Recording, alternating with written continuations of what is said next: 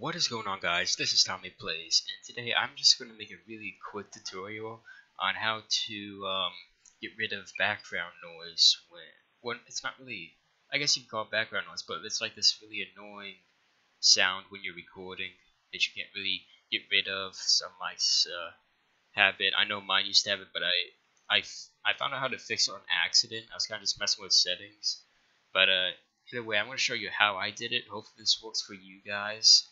But all I did was, okay, so you want to go down here to uh, this, where it says speakers, and you're going to right click it, and then you're going to go to uh, recording devices. And then from here you're going to find your mic. This one is mine right here, it says front mic, and you want to right click it and then go to properties.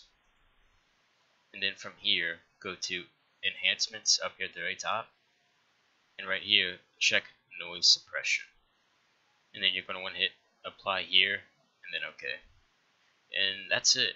I really do hope this works for you guys because it worked for me. I, I always had background noise and it was very annoying.